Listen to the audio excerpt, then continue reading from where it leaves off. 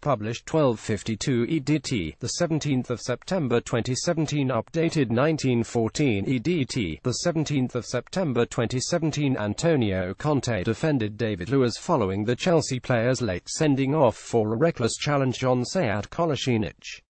For the third consecutive game against Arsenal, the Blues were reduced to 10 men after referee Michael Oliver showed Luiz, who had already been booked, a straight red card for an 87-minute lunge on the Gunners' summer signing.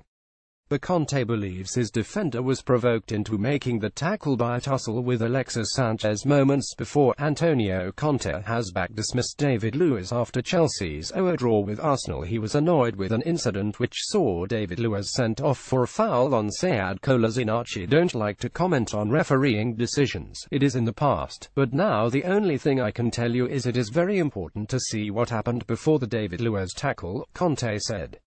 For sure, that was a foul by Sanchez on Luiz.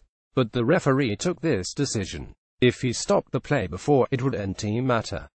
Conte, who revealed that Pedro suffered an ankle injury in Sunday's goalless draw, admits the Blues must improve their disciplinary record. A strange situation, but in normal situations we have to improve. In tactical situations, physical situations, you need to try and improve, he said. Also, you have to be more lucky in future. I was a player and it can happen, this type of period, if you are not so lucky and receive red cards. Well try to pay more attention in the future. I hope, also, to be more lucky with the refereeing decisions.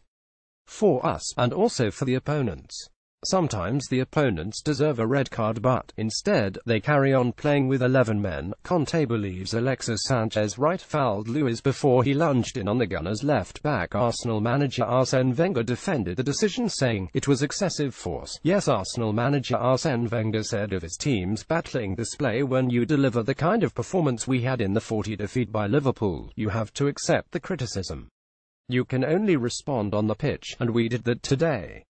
With the attitude and determination, it was vital for us to come out with a solid performance.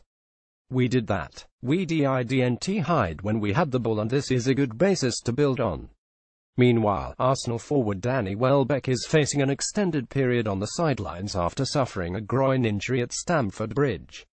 The England international, whose career has been plagued by injuries, limped off in the 73rd minute to be replaced by Olivier Giroud.